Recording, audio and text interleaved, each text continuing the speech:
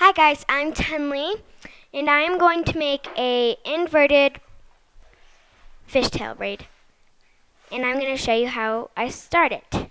So you cross it like a figure eight, like this. Then you put your next color on. Mine was green. And then blue.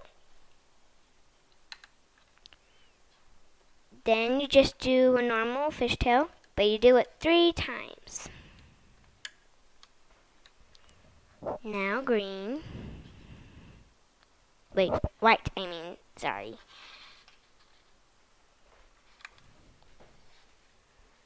Now grab the bottom, over, over, and then pull if you can get it. Now, uh, green on top. Now this,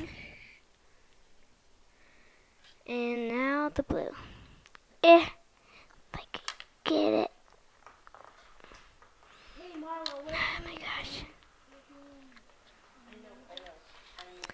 And there's the three. Now, here comes the inverted part. So, now you put a blue on.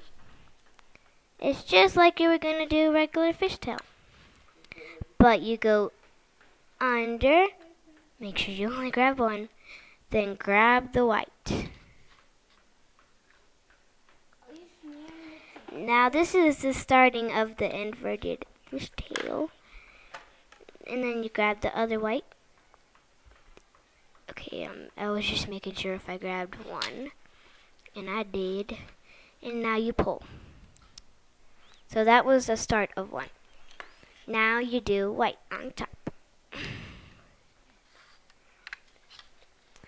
Now you go under, over, and make sure they're not overlapping like this. So just fix it. And there you go. And I go under and grab that. There's another one. See, you can kind of see it already. Right there. So, I just, so yeah. And then you do this like that.